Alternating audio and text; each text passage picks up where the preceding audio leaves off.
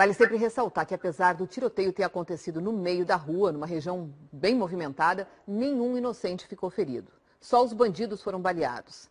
Mas as cenas você viu, né? São fortes, principalmente aquela que mostra o brigadiano atirando bem próximo ao bandido caído. O comando da Brigada Militar viu as imagens e falou com a nossa equipe sobre essa abordagem dos policiais. O comandante disse que o grupo de criminosos tinha entre 18 e 24 anos e usavam armas de uso restrito. O primeiro vídeo que mostramos foi o da câmera de segurança do hospital. A situação deles é correta ou eles deveriam ter se protegido mais?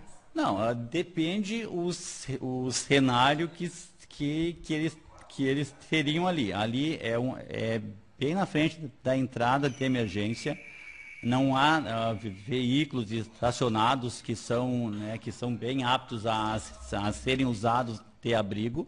Né? Ali, então, eles teriam que, que fazer exatamente o que eles fizeram. Eles uh, saíram da viatura, que isso te restringe né, os seus movimentos, uh, e ir à busca de abrigo. Mas ali houve dois PMs que foram para trás da viatura, para a parte de trás, e que estavam alvejando os, os delinquentes dentro né, do I-30. O outro vídeo é esse que mostra o policial que continua atirando em um dos criminosos que já está no chão. Não seria o momento do policial prendê-lo em vez de continuar atirando? Olha, qualquer análise agora que se faça é extremamente prematura, né? tendo em vista que o enfrentamento ele, ele gera estresse, ele gera reações que nós não temos como agora fazer essa avaliação. O que a gente vê né, é, é, o, é o delinquente deitado, mas, mas ainda está armado, né, e a princípio ainda oferecendo risco para o policial. Faremos a análise adequada durante o inquérito que nós instauramos ontem mesmo, né?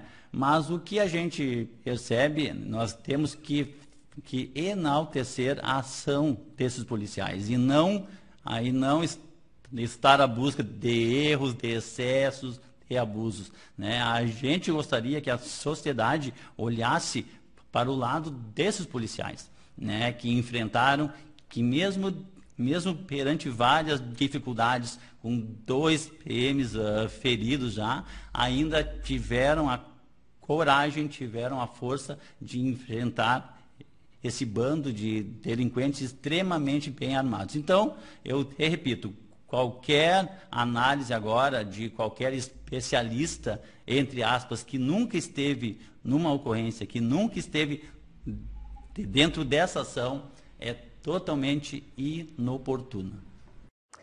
a única coisa que a gente lamenta e que sempre vamos lamentar é perceber como a nossa realidade hoje nos obriga a viver com medo.